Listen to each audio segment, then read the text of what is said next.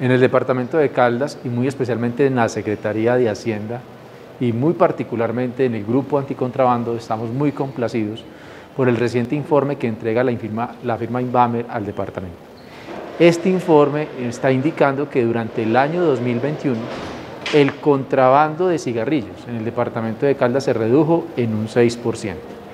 Este resultado tan importante para el departamento de Caldas obedece al trabajo articulado que realiza el Grupo Anticontrabando de la Unidad de Rentas del departamento de Caldas en conjunto con la Policía Nacional, la POLFA, la Policía Fiscalía Aduanera y la Federación Nacional de Departamentos, entre otros actores, así como la Fiscalía y la DIAN.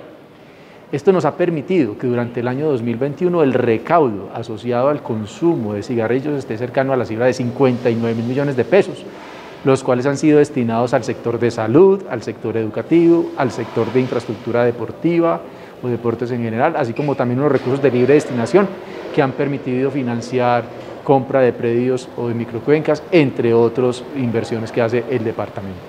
Por otro lado, en materia de cumplimiento de metas, es destacable la labor que hizo el grupo del plan anticontrabando, el cual logró un promedio de 170 operaciones con actas de aprehensión y que logró con ello una cifra importante de comisos tanto de cigarrillos como de licores de contrabando.